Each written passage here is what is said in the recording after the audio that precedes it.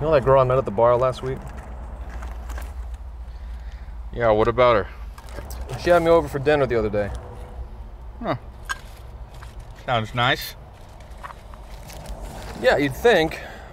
She just microwaved just a can of soup.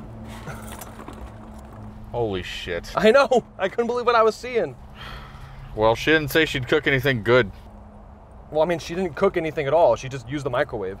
Oh, well, when you cook dinner in the microwave, it's not going to be good. No, but I'm saying she didn't even cook. She just used the microwave, is what I'm saying. How is that not cooking? That's not what cooking is. Cooking requires ingredients and a recipe and some semblance of an imagination, for God's sakes. Look, I'm not saying that nuking something is something a chef would do, okay? It's lazy, but you're taking a food that's in an inedible state and you're changing it in a way that makes it hot and edible. It's cooking. Woodley, if I take something and put it in a microwave and just change the temperature of it, that is not cooking. That does not qualify. Then what qualifies something as cooking? I mean, what's the definitive line between simply heating something up and cooking something? Again, I say, you need a recipe, some imagination, some actual ingredients. Look, look, you do not need to create a culinary masterpiece to call it cooking.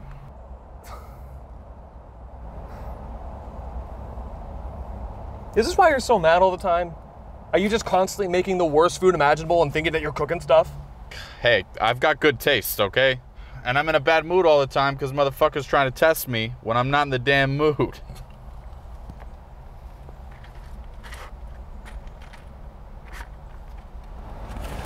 If I heat up some water, bring it to a boil, throw in a brick of ramen, let it cook for a little bit, put it in a bowl, stir in the, the brown salt, whatever it is, is that, did I just cook myself a bowl of ramen? I think whether you made real ramen or not is the actual question. Okay, but did I cook something? How is that not considered cooking? Oh, come on, dude. No, seriously, you tell me. Everything you described fulfills your exact qualifications for cooking. You're you're adding heat, you're boiling the water. Get out of here. There's here. ingredients. What ingredients is there? The salt, the salt, or the the flavor packet, or whatever you want to call it.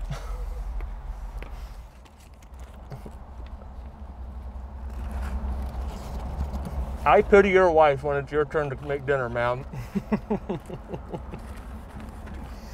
I mean, I can see it now. A year from now, you're going to be like, oh, it ended in a horrible, messy divorce. I'm to know why. It's because of what's happening right here. You're just so full of shit, man. But you even used the word cooking when you described it.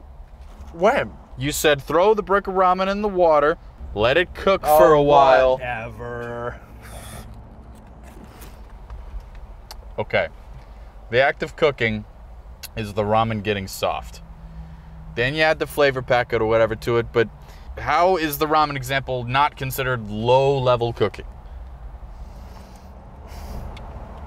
All right, maybe the ramen example is low level cooking. The soup in the microwave, however, is not. You might be right.